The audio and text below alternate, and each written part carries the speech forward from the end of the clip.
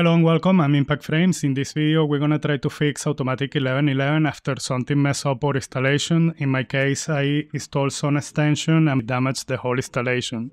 So I'm gonna go into the Stable Diffusion Web UI folder and inside extensions, I'm gonna find the last folders for the repos I installed and I'm gonna delete them.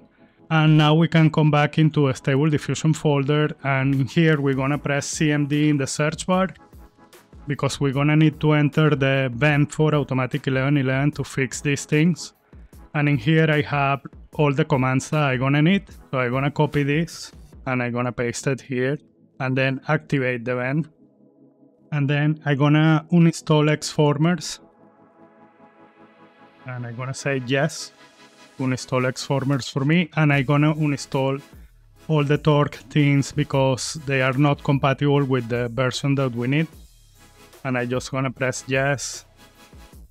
Okay, so apparently it's done now. So now we can go and pip install all these things that we are going to need. So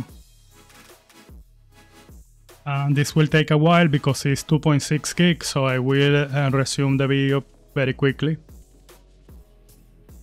Okay, cool. So now the installation finishing here, and now we can install Xformers.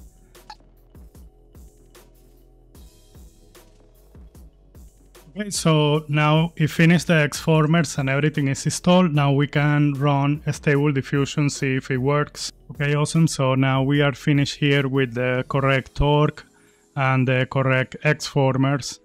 And we also have the, the commands here that we use for the video.